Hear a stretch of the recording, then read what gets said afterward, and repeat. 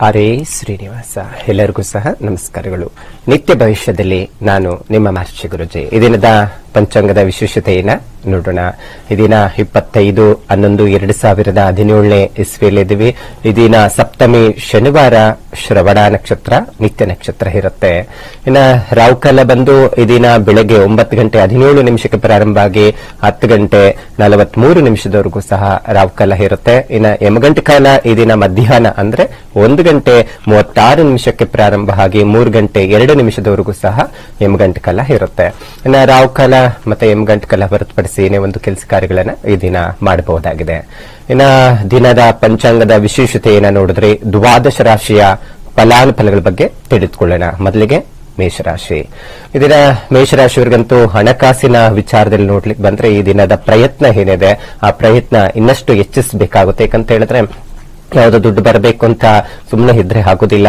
ಪ್ರಯತ್ನಕ್ಕೆ ತಕ್ಕಂತ ಪ್ರತಿಫಲ ಅಂತೂ ಸಿಗ್ಲಿಕ್ಕೋಸ್ಕರ ಒಂದು ದುಡ್ಡಿನ ವಿಚಾರದಲ್ಲಿ ಅನುಕೂಲ ಆಗ್ಲಿಕ್ಕೆ ಪ್ರಯತ್ನ ಮಾಡಬೇಕಾಗುತ್ತೆ. ಏನಾದರೂ ಜೊತೆಗೆ ಇದಿನ ಕೆಲಸ ಕಾರ್ಯಗಳಲ್ಲಿಯೂ ಸಹ ಹೆಚ್ಚಿನ ಒಂದು ಒತ್ತಡ ಉಂಟಾಗುವಂತ ಸಾಧ್ಯತೆಗಳು ಹೆಚ್ಚಾಗಿರುತ್ತೆ.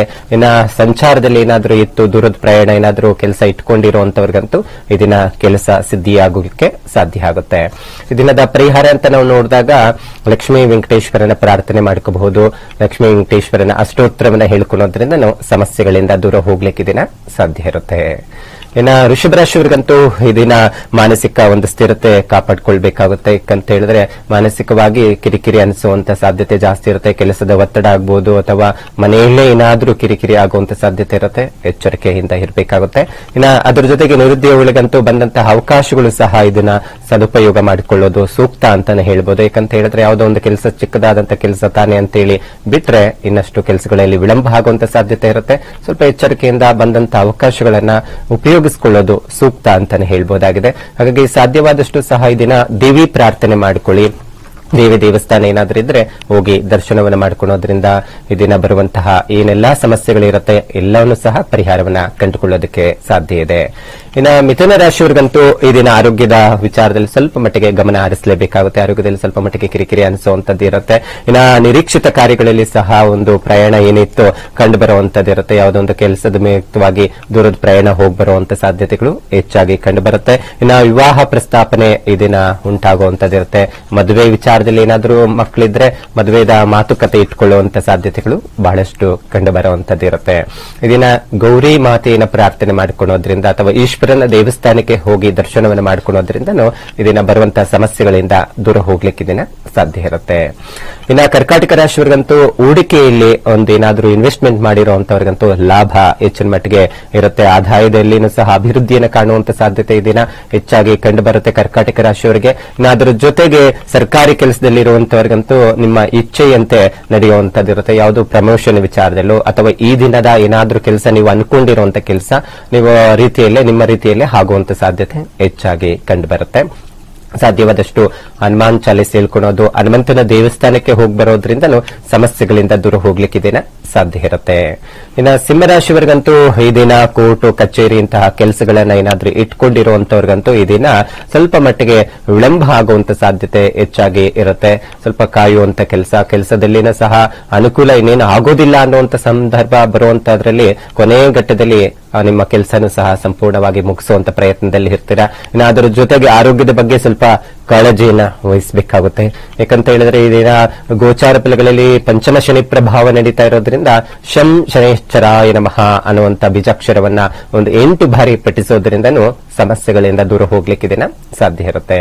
ಇನ್ನ ಕನ್ಯಾ ರಾಶಿಯವ್ರ ಬಗ್ಗೆ ತಿಳ್ಕೊಳ್ಳೋಣ. ಈ ದಿನ ಕನ್ಯಾ ರಾಶಿಯವರಿಗಂತೂ ಉದ್ಯೋಗದಲ್ಲಿರುವಂತವ್ರಿಗಂತೂ ಒಂದ್ ಸ್ವಲ್ಪ ಮಟ್ಟಿಗೆ ಬದಲಾವಣೆ ಕಾಣುವಂತ ಸಾಧ್ಯತೆ ಹೆಚ್ಚಾಗಿ ಕಂಡು ಬರುವಂತದ್ದಿರುತ್ತೆ ಆಗಾಗ ಸ್ವಲ್ಪ ಮಟ್ಟಿಗೆ ವೆಚ್ಚದಲ್ಲಿ ಖರ್ಚುಗಳು ಜಾಸ್ತಿ ಆಗುವಂತಹ ಸಂಭವಗಳು ಇದ್ರೂ ಸಹ ಆರ್ಥಿಕವಾಗಿ ಉನ್ನತಿ ಇದೆ ಅಂತಾನೆ ಹೇಳಬಹುದಾಗಿದೆ ಸಾಧ್ಯವಾದಷ್ಟು ಸಹ ದೇವಿ ಪ್ರಾರ್ಥನೆ ಮಾಡಿಕೊಳ್ಳಿ. ಯಾದೇವಿ ಸರ್ವಭೂತೇಶು ಶಕ್ತಿ ರೂಪೇಣ ಸಂಸ್ಥಿತ ನಮಸ್ತಸ್ವೇ ನಮಸ್ತಸ್ವೇ, ನಮೋ ನಮಃ ಅನ್ನುವಂತ ಮಂತ್ರವನ್ನು ಸಹ ಹೇಳ್ಕೋಬಹುದಾಗಿದೆ. ಇನ್ನ ತುಲಾರಾಶಿಯವರಿಗಂತೂ ವಿರೋಧಿಗಳು ಸಹ ಕಿರಿಕಿರಿ ಇದ್ದು ನಿಮ್ಮ ಪ್ರಯತ್ನಗಳು ಏನಿರುತ್ತೆ ಬಲದಿಂದಲೇ ಈ ದಿನ ಮುಂದುವರಿಸಬೇಕಾಗುವಂತ ಪ್ರಯತ್ನದಲ್ಲಿ ಇರುವಂತದ್ದಿರುತ್ತೆ ಇನ್ನು ಅದರ ಜೊತೆಗೆ ವಿದ್ಯಾರ್ಥಿಗಳು ಸ್ವಲ್ಪ ಮಟ್ಟಿಗೆ ಚೇತರಿಕೆಯನ್ನ ಪಡೆದುಕೊಳ್ಳುವಂತ ಸಾಧ್ಯತೆಗಳು ಹೆಚ್ಚಾಗಿ ಕಂಡು ಬರುತ್ತೆ ಇದನ್ನ ಹಯಗ್ರೀವನ ಪ್ರಾರ್ಥನೆ ಮಾಡ್ಕೋಬಹುದು ಅಥವಾ ಗಣಪತಿಯ ಪ್ರಾರ್ಥನೆಯಿಂದನೂ ಇದನ್ನ ಬರುವಂತಹ ಏನು ಸಮಸ್ಯೆಗಳಿದೆ ಅದೆಲ್ಲ ಪರಿಹಾರವನ್ನ ಕಂಡುಕೊಳ್ಳೋದಕ್ಕೆ ಸಾಧ್ಯ ಆಗುತ್ತೆ. ಇನ್ನ ಧನುರಾಶಿಯವರಿಗಂತೂ ನಿರೀಕ್ಷಿತ ಕೆಲಸ ಕಾರ್ಯಗಳಲ್ಲಿ ಒಂದು ಅನಿರೀಕ್ಷಿತವಾಗಿ ರೂಪದಲ್ಲಿ ನಡೆಯುವಂತದ್ದಿರುತ್ತೆ ಮತ್ತೆ ನಿಮಗೆ ಎಚ್ಚರಿಕೆಯಿಂದ ಇರಬೇಕಾಗುತ್ತೆ. ಯಾವುದೇ ಒಂದು ಕೆಲಸ ಕಾರ್ಯಗಳನ್ನು ಮಾಡಬೇಕಾದ್ರೆ ಸ್ವಲ್ಪ ಮಟ್ಟಿಗೆ ಏರುಪೇರುಗಳಾಗುವಂತ ಸಾಧ್ಯತೆಗಳು ಹೆಚ್ಚಾಗಿ ಕಂಡು ಇರುತ್ತೆ. ಇನ್ನ ಅದರ ಜೊತೆಗೆ ಕಾರ್ಯ ವಿಕ್ರಮದಲ್ಲಿ ಯಾವುದೋ ಒಂದು ಕಾರ್ಯಕ್ರಮಗಳಲ್ಲಿ ಪಾಲ್ಗೊಳ್ಳುವಂತದ್ದು ಇರುತ್ತೆ. ಮತ್ತೆ ಅದರ ಜೊತೆಗೆ ಲಾಭ ತಂದುಕೊಡುವಂತ ಸಾಧ್ಯತೆನೂ ಹೆಚ್ಚಾಗಿರುತ್ತೆ. ಯಾವುದೋ ಒಂದು ಕೆಲಸದಲ್ಲಿ ಪ್ರಯತ್ನ ಮಾಡ್ತಾ ಇರ್ತೀರಾ, ಆ ಪ್ರಯತ್ನ ತಕ್ಕಂತ ಪ್ರತಿಫಲನೂ ಇದನ್ನ ದೊರಕುವಂತ ಸಾಧ್ಯತೆ ಹೆಚ್ಚಾಗಿರುತ್ತೆ. ಇನ್ನು ಅತಿಥಿಗಳ ಆಗಮನ ಇದನ್ನ ಉಂಟಾಗುವಂತದ್ದು ಬರುವಂತದ್ದು ಇರುತ್ತೆ. ಅದರಿಂದ ಒಂದು ಸಂತೋಷದಿಂದ ಇರುವಂತ ಸಾಧ್ಯತೆಗಳು ಬಹಳಷ್ಟು ಕಂಡು ಬರುವಂತದ್ದು ಇರುತ್ತೆ. ಸಾಧ್ಯವಾದಷ್ಟು ಸಹ ಧನುರಾಶಿಯವರು ಶನೇಶ್ವರನ ದೇವಸ್ಥಾನಕ್ಕೆ ಹೋಗಿ ಬನ್ನಿ. ಸಾಧ್ಯವಾದಷ್ಟು ಕೂಷ್ಮಾಂಡ ಒಂದೇನಾದರೂ ದಾನ ಅಂದ್ರೆ ಬೂದುಂಬಳಕಾಯಿ ದಾನ ಮಾಡೋದ್ರಿಂದ ಈ ದಿನ ಬರುವಂತಹ ಸಮಸ್ಯೆಗಳಿಂದ ದೂರ ಹೋಗ್ಲಿಕ್ಕೆ ದಿನ ಸಾಧ್ಯ ಇರುತ್ತೆ. ಇನ್ನ ಮಕರ ರಾಶಿಯವರಿಗಂತೂ ಭೂಮಿ ವಿಚಾರದಲ್ಲಿ ಖರೀದಿ ಮಾಡುವಂತದ್ದು ಏನಾದ್ರೂ ಇದ್ರೆ ಸ್ವಲ್ಪ ಮಟ್ಟಿಗೆ ವಿಳಂಬ ಆಗುವಂತದ್ದು ಇರುತ್ತೆ. ಈ ರಿಯಲ್ ಎಸ್ಟೇಟ್ ಇಂತಹ ಉದ್ದಿಮೆಯಲ್ಲಿ ಕೆಲಸ ಮಾಡುವಂತವ್ರಿಗೆ ಏನಾದ್ರೂ ಇದನ್ನ ಕೆಲಸವನ್ನ ಇಟ್ಕೊಂಡಿರುವಂತವ್ರು ಸಹ ಸ್ವಲ್ಪ ವಿಳಂಬ ಆಗುವಂತ ಸಾಧ್ಯತೆ ಹೆಚ್ಚಾಗಿ ಕಂಡು ಬರುತ್ತೆ. ಇನ್ನು ಅದರ ಜೊತೆಗೆ ಧನಾಗಮನದಿಂದ ಸಮಾಧಾನ ಒಂದು ಸ್ವಲ್ಪ ಮಟ್ಟಿಗೆ ಸಿಗಲಿದೆ ಅಂತಾನೆ ಹೇಳ್ಬೋದು. ಹಣಕಾಸಿನ ವಿಚಾರದಲ್ಲಿ ನಾವು ಬರಬೇಕಾಗಿರುವಂತದ್ದು ಸಹ ಕೈ ಸೇರುವಂತ ಸಾಧ್ಯತೆ ಹೆಚ್ಚಾಗಿರುತ್ತೆ ಇದನ್ನ ಇನ್ನ ಆದರೂ ಸಹ ಸ್ವಲ್ಪ ಮಟ್ಟಿಗೆ ಜಾಗೃತೆಯಿಂದ ಇರಬೇಕಾಗುತ್ತೆ ಹಣಕಾಸಿನ ವಿಚಾರ, ಭೂಮಿ ವಿಚಾರದಲ್ಲಿ ಸ್ವಲ್ಪ ಮಟ್ಟಿಗೆ ಏರುಪೇರು ಆಗೋದ್ರಿಂದ ಎಚ್ಚರಿಕೆ ಅಗತ್ಯ ಇದೆ. ಇದನ್ನ ಹನುಮಂತನ ಚಾಲಿಸಿ ಹೇಳ್ಕೊಳ್ಳೋದಾಗ್ಲಿ ಅಥವಾ ಆಂಜನೇಯಾಯ ವಿದ್ಮಹೆ ವಾಯುಪುತ್ರಾಯ ಧೀಮಹೆ ತನ್ನ ಹನುಮಾನ್ ಪ್ರಚೋದಯ ತಂತ ಮಂತ್ರವನ್ನು ಹೇಳ್ಕೊಳ್ಳೋದ್ರಿಂದ ಬರುವಂತಹ ಸಮಸ್ಯೆಗಳಿಂದ ದೂರ ಹೋಗ್ಲಿಕ್ಕೆ ದಿನ ಸಾಧ್ಯ ಇರುತ್ತೆ. ಇನ್ನು ಕುಂಭರಾಶಿಯವರಿಗಂತೂ ಇದನ್ನ ವೃತ್ತಿಯಲ್ಲಿ ಇರುವಂತವರಿಗಂತೂ ಸ್ವಲ್ಪ ಮಟ್ಟಿಗೆ ಮುನ್ನಡೆ ಉಂಟಾಗುವಂತ ಸಾಧ್ಯತೆ ಹೆಚ್ಚಿನ ಮಟ್ಟಿಗೆ ಕಂಡು ಬರುವಂತದ್ದು ಇರುತ್ತೆ.